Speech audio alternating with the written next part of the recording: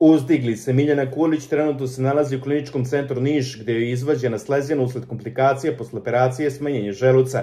Miljanine komšije bile su zabrinute za Nišliku, ali većina njih nije imala repe, lepe reči za porodicu Kulić. Ponašaju se kao zvezde, samo dižu nos i nikome se ne javljaju kad prođu ulicom. To je sve počelo kada su se proslavili u realitiju.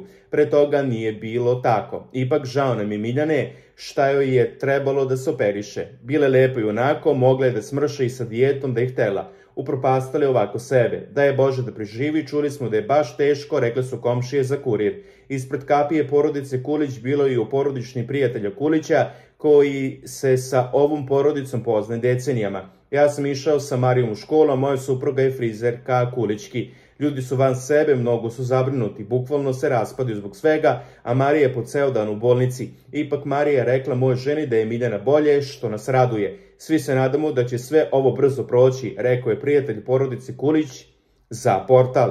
Moja čerka je bolje, toliko mogu da vam kažem, hvala Bogu, bilo je sve što je rekao Siniša.